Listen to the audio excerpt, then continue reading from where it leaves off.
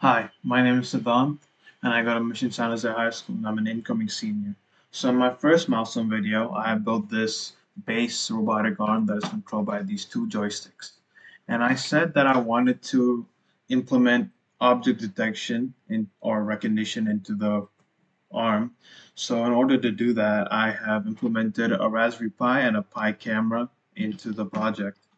So the first steps to getting together was to first figure out how I'm going to get the two boards to communicate. So in order to do that, I've set up a simple serial communication using this WAT cable. And serial communication is basically just a way for both of them to communicate with each other by just transferring data. It's a bidirectional communication. And in order to set up the object detection, I have downloaded an OpenCV and a few Python files in order to be able to recognize some some objects like a glass or a mouse. And I'll show you guys a demo in a bit. But a, few challenges I've faced so far are first downloading the Arduino IDE onto the Raspberry Pi. I was just on the wrong version initially, and I just replaced that. And another problem was downloading the OpenCV. So originally I was on the latest Bullseye OS, but I had to switch to an older Buster OS, specifically the one in 2021 latest is May 5th, I think. Yeah, I had to use that because some files that I need to be downloaded weren't recognized and weren't available in the new OS. So yeah, I'll give you guys a demonstration of whatever. Alright, so here's both of them open, the IDE and the Thonny on the Raspberry side.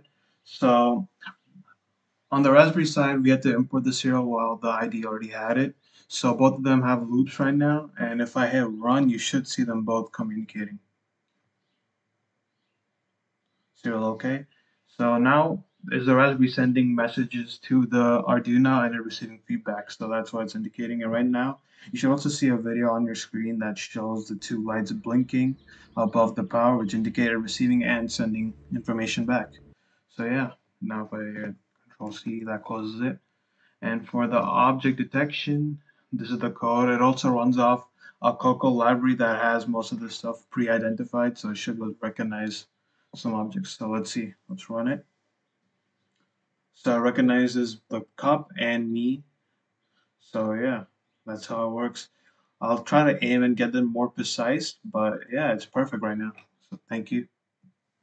So as you guys saw in the demonstrations, both the object recognition and the serial communication work perfectly. So now next steps of completing this project will be to figuring out how I can get the Raspberry Pi to instruct the servos on the arm to pick up certain objects like this cup or a battery when asked to. So yeah, thank you for watching.